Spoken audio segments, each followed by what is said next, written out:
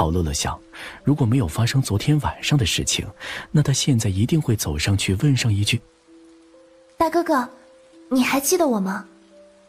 可是他现在却不敢这么做，他也不配去这么做。邹浩把车开过来时，眼神不经意的就把这一切尽收眼底。看这姑娘的架势，不像是第一次见程佐，莫非？他沉思着，撑着一把黑色的雨伞下了车。他接过了邹浩递过来的雨伞，两人就那么一前一后的坐进了那辆劳斯莱斯幻影里头，从始至终都没说过一句话。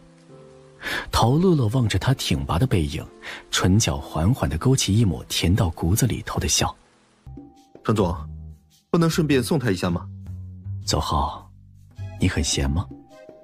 不是，这就是举手之劳的事。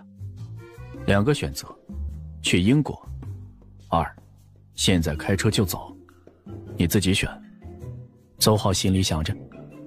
呃，程总，您真不是一般的人。明明昨天晚上才把人家小姑娘给办了，我以为再怎么着也会有一夜情缘，可您倒好，提上裤子就不认人了。那，给他把伞好吗？男人一个如尖刀般的眼神递了过来。邹浩再也不敢说什么，踩下油门就飞驰而去了。他再也忍不住，一头就扎进了雨幕里头，开始狂奔起来。天哪，自己昨天晚上到底和哪个男人睡觉了呀？